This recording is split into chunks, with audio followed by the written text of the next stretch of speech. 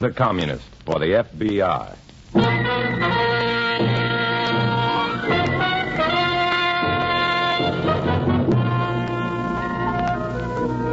Starring Dana Andrews in an exciting tale of danger and espionage. I was a communist for the FBI.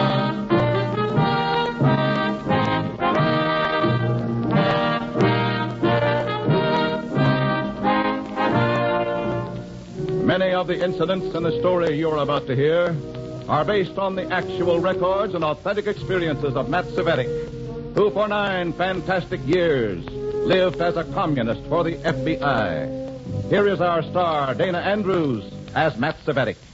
Externally, you look the same nine years later. A little more settled looking, a little more tolerant of things, a little tired. But that's all they think. Inside are the ruins. Inside is the wreckage of loneliness and compromise and disappointment and fear. That's the price you pay for being, for nine years, a communist for the FBI, like me. In a moment, listen to Dana Andrews as Matt Cvetic, Undercover Man.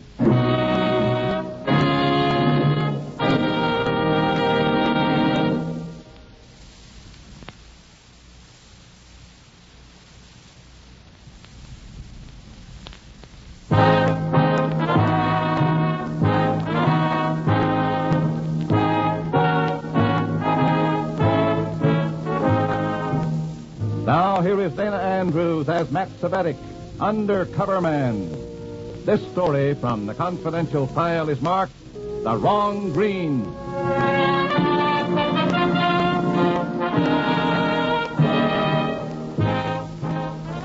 I stumble out of Comrade Revchenko's office feeling like a guy who's just caught a live grenade and can't let go. All I can think of is get to a pay station and call my FBI contact, and maybe he can get the stinger out. We arranged to meet at Rendezvous Green, currently a vacant garage away from things on the north side. It's a place where a case of jitters can smoke and paste the concrete and flip his lid a little until the mimes go away. Rendezvous Green. High class luggage they're going to supply me. And take my best clothes along, the man said. Take it easy, Matt. Take it easy. All they want me to do this time is commit a felony. All I'm supposed to do is pass a lot of counterfeit money at this plush resort. That's all. Simple. This could be a break for us, Matt. We've suspected the Reds of pouring counterfeit money into resorts where important foreign delegations are staying. Object? To undermine confidence in our exchange and in our government generally. Also, trade a little bad money for good. There's a Pan American Monetary Conference going on at Glade of the Lakes. The Reds want you to riddle the place with bad currency. Now, what about the effect of those counterfeits on the foreign delegates? You've got to risk that just this once more. Prevent its ever happening again. Lots of people are going to get stuck with bad paper. We'll replace it with good bills. Be worth it. You game, Matt? Mm, I'm game, all right. And the season is wide open on me.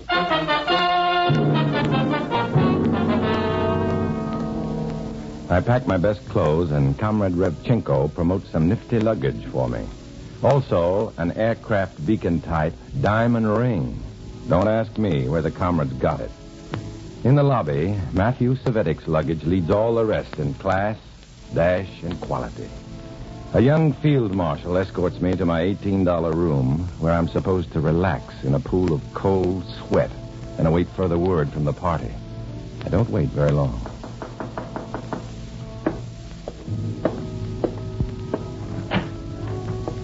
Hi. I like her right away. Perhaps 20, pretty, appealing, forthright looking anyway. Friendly.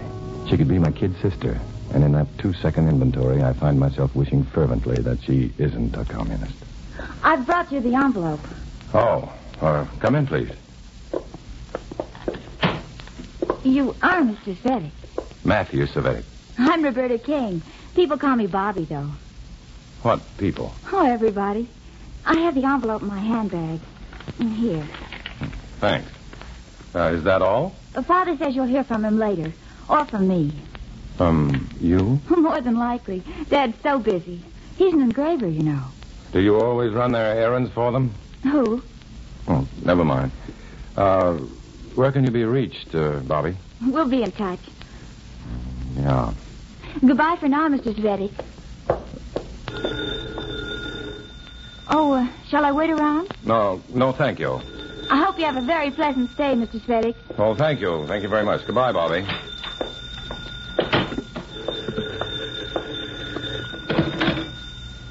Yes? Who is this, please? This is Matthew Cvetic. Who are you? Has Miss Kane been there yet? Oh, yeah. She just left. Why? Good. You are to play the free spender to the limit. Spend freely, tip handsomely, and play the races daily. I haven't picked a winner since Ben Hur drove sulkies. Just as well. What? The main object is to spend. But what if I win? Put the money aside. Spend only your own money. Is that clear? Oh, I get it. What about Bobby? What about her? She's my daughter, and she's devoted to me. And? And nothing else. Discuss nothing with her. Nothing. Okay. Hello? Hello?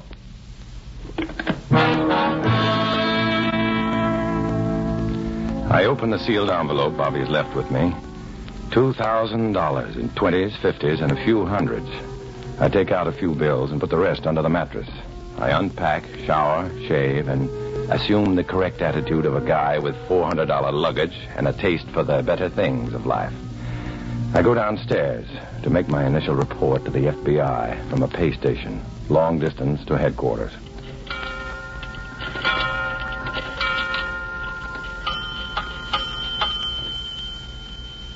Hello? Operator. Operator, I deposited my money. When do I get value? Hello? Oh, never mind, operator. Hello, Mrs. Cvetic. Oh, hello there, Bobby. I tried to call your room on the house phone, but the cashier said she'd seen you go into the booth here. Yeah, I'm getting some lukewarm tips on the horses. Oh, oh, your money came back. Didn't you complete your call? That's not my dough. My call was local. But how could that... Operator's mistake, I guess. Let's go play the races. Hmm?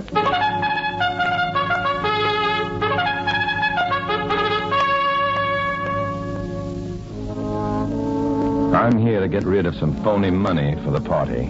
And I know now that Pretty Bobby is assigned to see that I do it. And I'm sorry. Bobby and I repair to the Turf Club for refreshment and high horse strategy. Now, pick me a winner, Bobby. Not me. I can't pick daisies without getting thorns. Well, in that case, pick me two horses. A parlay? We'll lose everything. Well, it's only money. Or is it? What do you mean, or is it? Sure it is. All right. Pick two. Well, Excuse me, senor, senorita. Your pardon. Yes, sir? I have difficulty to pay for my refreshments. The bartender says you are, how you say, uh, loaded, eh? I can change that hundred for you if that's your problem. Gracias, yes. Uh, many thanks. Two fifties, okay? Excellent, excellent. Uh, thank you. Uh, Your deep pardon. Uh, Gracias, gracias. you made a fast reputation for non-thrift around here, Bub. Know who that was? Big wheel on the Latin delegation. Well, the big wheel ought to go around with smaller change. Now, where were we? How's this for a hunch? Top secret in the sixth. Bomb blast in the seventh. Get it? Top secret bomb blast. See? Oh, it's bombast. See, bombast, no L. Oh, shucks. Well, try it anyhow. A hundred on top secret to ride on bombast. How can we lose? Huh? Anyhow, it's fun. It's Too bad. It can't be more fun. Why can't it be? First of all, I'm old enough to be Oh, your you're not. your big brother. Oh, mm, maybe that. Bobby, why are you staying so close to me? Well, Father told me you're his responsibility. Did he say in what way? He says you're an old friend. And a good comrade, huh? Sure. All right. We'll be good comrades too, right? Of course. Yeah.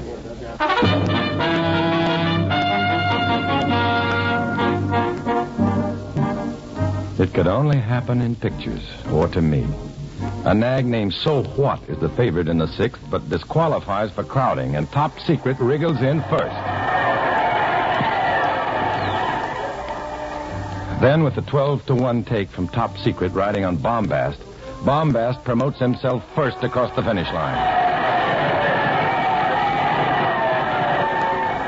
I take my $3,000 profit in honest money, won with counterfeit money, and sneak away like a thief. It could only happen in the picks or in the fix. I part with Bobby in the lobby and go up to my room. Bobby in the lobby, the picks or the fix. The money is funny. Plenty of rhyme, but not very much reason in what I've gotten myself into this time. I unlock the door of my room and walk into an acute heart condition. Come in, Matt. How the dickens did... Close the door, friend. When did you get in? How did you get in? Influence. Does the management know you're FBI? The FBI man at the day desk knows I'm FBI. The day clerk? We can't let an international conference go unpoliced. Oh. Well, I see you found the envelope of funny money. First place we look is behind pictures and under the mattress. Have you had a chance to look at the stuff closely? Uh huh. Pretty good stuff, isn't it? Frighteningly good. It's almost perfect counterfeiting. Yeah, I get the shakes every time I pass any of it. I can understand. Look, with these bad bills going into circulation, aren't we going to make a pretty bad impression on the Latin American monetary delegates? That's the big point with the Reds. How far do we have to go along with it, though? I told you, Matt. We've got to take risks this once more in the hope of breaking up this particular racket for keeps. Do I go on helping undermine confidence in our dollar right in the middle of a Pan American money conference? Every victory costs casualties to our side. Suppose one of those sour banknotes. Oh, Who would that be? well, I don't know. Who is it? Me. Bobby. Who's Bobby? May I come in? I want to talk to you. Oh, wait a second, Bobby. Go someplace, uh, the closet. I'll get rid of her for a couple of minutes. All right. No? Uh, just one minute. Hand me one of those fifties first. Uh, yeah, here you are. Uh, don't let me smother, will you? No? Coming.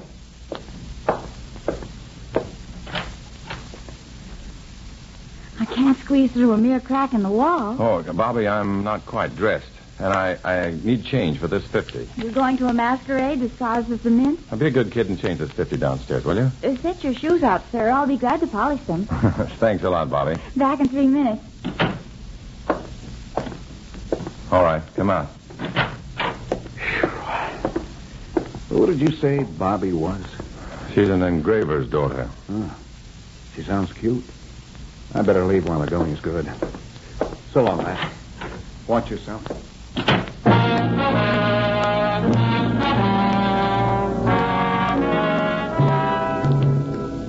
No sentiment, no. But here I am, waiting for Bobby Kane to come back, wondering if she'll break that phony bill for me. Because if she does break it, it means she doesn't know it's counterfeit, and she'll be in the clear. All of a sudden, one of the big issues of this fight I'm in is the corruption of young people like Bobby Kane. At least, Bobby Kane is a big issue with me, suddenly. So please, Bobby, change that bill. Change that queer 50 and Pan American Conference or not, Bobby. You'll be the big news to me. After all, I'm only old enough to be your brother. Yeah? Down your shoes, mister? Well, come in, Bobby.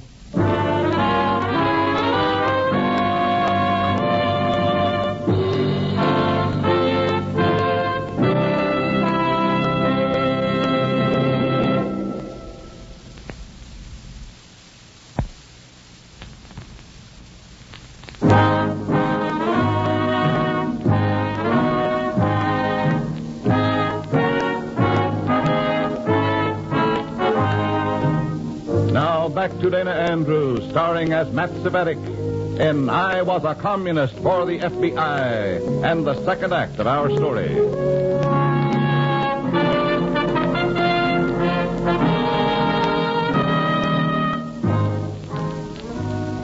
I wait for that door to open and for Bobby Kane to walk in, with or without change from that bad $50 bill. If she has the change, she's passed counterfeit money for it. But she's proved she's innocent in any of the peculiar skullduggery going on around here lately. That's a mighty funny look you've got in your face, Bub. Did did you change the 50? Had a terrible time. Did you change it? Finally. Had to use your magic name, though. Bobby. Hey, Matt. Well, I I don't know why I did that. Let's say it's only because you felt very big brotherly toward me all at once. What? What did you want to talk to me about? I got to worrying what you had against me. After all, you did say for us to be good friends. Comrades, I think I said. Yes. But I'm not worried now. Oh, me neither. And then it came to me in a flash of inspiration. If you're going to be alone for dinner, you might like pleasant as well as ornamental company. Like you? Why, thank you, Mr. Cvetic. I'd love to have dinner with you. How nice of you to think of it. I had help.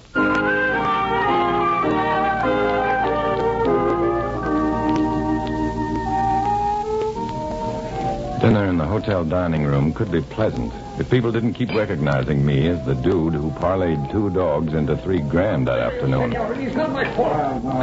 All at once, the Latin delegation across the room explodes in excited voices and converging hotel officials. The rumor flies from table to table. Ruiz, the big wheel in the delegation, has paid the check with a counterfeit $50 bill. And suddenly, Ruiz and the manager are looking toward me, and Ruiz is nodding. I pay my check with good currency, and without waiting for the change, I hurry Bobby out of there.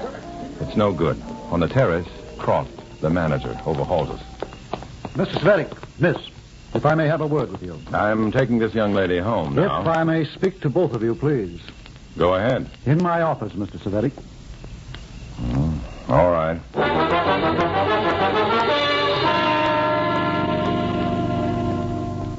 Now then, may I ask your name, miss? Why, yes, my name is... No, you may not ask. I don't mind, Matt. I mind. I mind very much. I want to know this man's business with us before we answer any questions at all. Very well, Mr. Cvetic. Keep it down, Croft. You're getting shrill. I'll tell you then. For two days now, a flood of counterfeit money has been disorganizing things here. The Pan American delegation is greatly disturbed, as am I. As am I. Get on with it. Tonight, Senor Luis, chairman of the group, was embarrassed when he offered us a bad $50 bill. He says you gave it to him in the turf club. I'll better that. I gave him two fifties in the turf club. Both of them good. Where's the other one? Luis spent it. They're excellent counterfeits. If they're so good, it's a matter for experts to determine, not a head waiter or the cashier, don't you think? I'm sure the bill was counterfeit. Then somebody gave it to me, counterfeit. You admit there are a lot of them around. Don't bother this lady and me about it. This lady, Mr. Cvetic, broke a different $50 bill today in your name. That's right. The cashier put it aside. We put aside all bills of $50 or over, with data concerning who passed it, when, etc. In the light of recent events, I must consider that bill suspect also. How absurd and insulting. Well, Mr. Cvetic? I sympathize with your predicament. I'm willing to have the bill the young lady broke for me examined here, in my presence, and by an expert. Not by you, not by your head waiter or some hysterical cashier, but an expert. Certainly. If I'm not mistaken, there's an engraving expert here in your community. I insist that you call him at once to establish my innocence. He can't establish your innocence. He can only establish that the bill is good or bad. If it is bad, like the other, we must presume the possibility of guilt. Call him. What's his name? Kane. Mr. Myro Kane. He's in the telephone directory.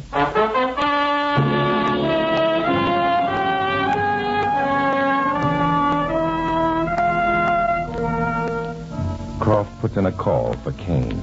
Then we wait for my accomplished red accomplice to appear. I'm not worried about the outcome. I can't lose. Then Myro Kane arrives. He peers at us without recognition through his thick lenses. No introductions in so delicate a matter. Kane studies the bill for a few seconds. Hmm.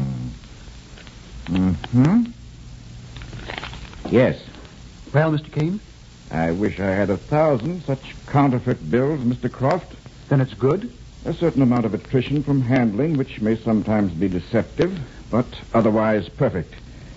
So good that I am willing to accept it as my fee. Fifty dollars exact. By all means, Mr. Kane, and thank you. Thank you. Hmm. And to you, Mr. Cvetic, my sincere appreciation for your sympathetic cooperation in this matter. Oh, it's all right, Mr. Croft. You're in a spot.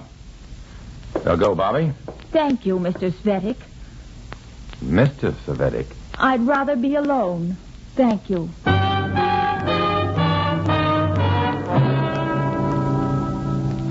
I go for a long walk. I feel choked, smothered by the oppressive events of these two days. Kane's verdict is what I expected, of course.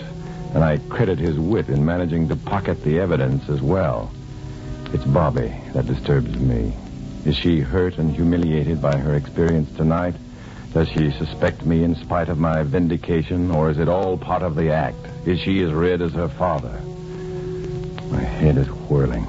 I go back to the hotel and lie down, fully clothed, sleepless, beyond comfort.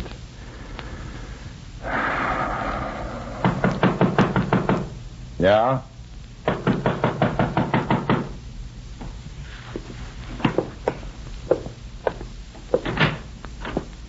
Kane.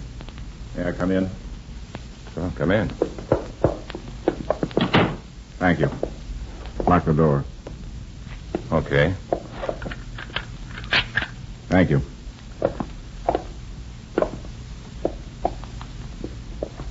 It was shrewd of you to contrive for me to be the expert this evening, Comrade Cvetic. Shrewd of you to have contrived to take the evidence with you as your fee, comrade. Thank you. That is not why I took it. oh? I took it as evidence, yes, to be used against you by the Control Commission of the Communist Party, Comrade Cvetic. What are you talking about? Saying simply that it was no falsehood to tell Mr. Croft tonight that this $50 bill was good, because it is good. Well, it can't be. But it is. Not if it's the one I gave Bobby to change for me. This is the one you gave her to change for you. And it is a perfectly good United States note, and I want to know why it is good. Why is it not counterfeit like the rest? All the bills I gave you were counterfeit. Why isn't this? That's Betty. I don't. Where did you get a good $50 bill? I don't know. Perhaps the Control Commission will refresh your memory. I don't know how the bill got mixed up with the phonies, I tell you. Perhaps this will make you remember. I don't think the Control Commission will approve of unauthorized gunplay either, Comrade Kane. Now understand this. If I am seized by the police or the FBI, it will not be merely as a communist, but as a counterfeiter. I will not suffer that, Comrade Cvetic. I have a daughter who means much to me. Discuss this with that daughter who means so much to you. Ask her if she switched bills when she cashed the one I gave her. I've a good idea she'd do it. Why, I don't know. Answer it. I'll have you covered from my pocket.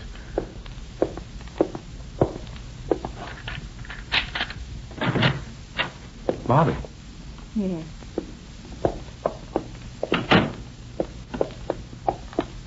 Father, Why are you here?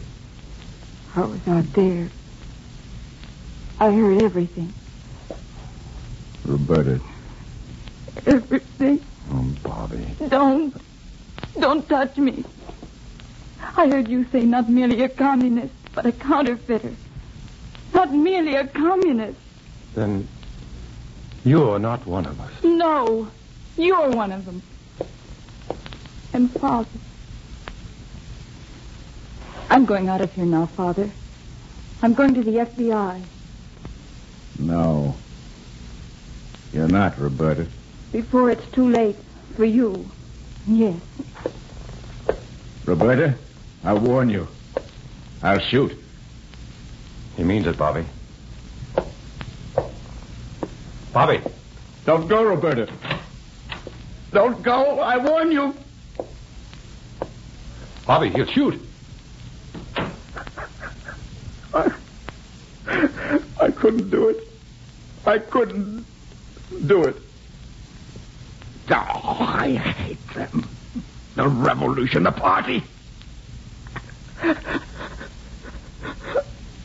I hate them all.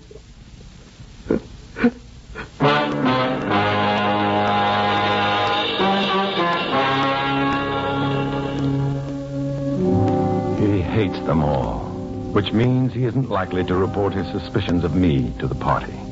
Blood has told in my favor.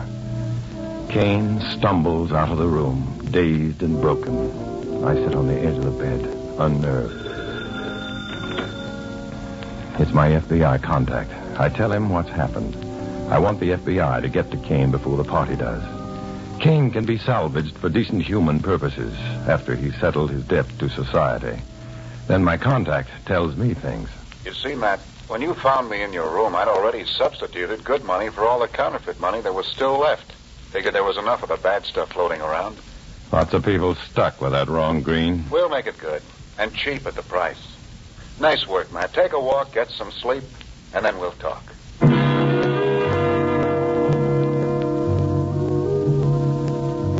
I hang up. I take a walk for cleansing air, to walk the pure night. We've taken casualties, all right, like Bobby. Decent, level, whimsical Bobby. I find the good people, and I always lose them again. That's how it's got to be. I'm a communist for the FBI. I walk alone.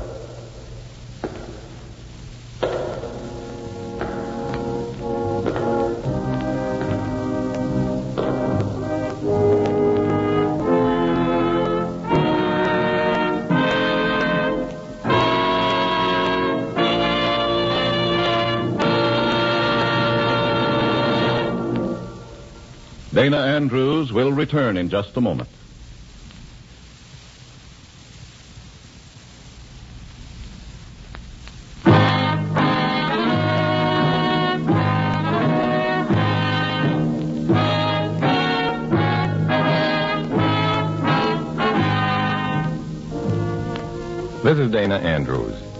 I'd like to remind you that the play you've just heard is firmly based in fact. Places, people, and other data have been changed to protect the innocent. Cases like the foregoing are not rare in the communist FBI conflict. This story, like others in this series, is based on incidents in the experience of Matt Cvetic, who worked undercover for the FBI. Next week, another exciting and revealing adventure. So be with us, won't you?